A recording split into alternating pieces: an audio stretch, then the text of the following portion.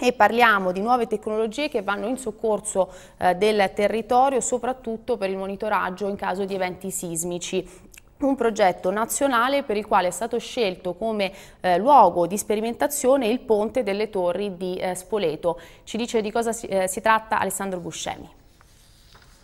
Droni e alta tecnologia per studiare il ponte delle torri e salvaguardarlo in caso di eventi sismici. Il sito spoletino è stato infatti scelto come test site nell'ambito del progetto Roma che ha l'obiettivo di aumentare il livello di sicurezza del territorio attraverso lo sviluppo di nuove soluzioni tecnologiche e strumenti di analisi efficaci per supportare le amministrazioni locali nella gestione delle emergenze ambientali. E così il ponte sarà oggetto di un avanzato sistema di monitoraggio sismico per il controllo e la salvaguardia del monumento momento. Sarà l'Enea, l'Agenzia Nazionale per le Nuove Tecnologie, a valutarne la vulnerabilità sismica attraverso i rilievi radar con un sistema satellitare per osservarne le deformazioni nel tempo. L'uso di droni poi con telecamere per avere nel dettaglio la mappatura delle lesioni e attraverso la rete sismica locale. I dati saranno impiegati per la realizzazione di un database della sismicità. Le conoscenze acquisite dall'Enea potranno poi essere messe a disposizione di altri siti del patrimonio culturale italiano.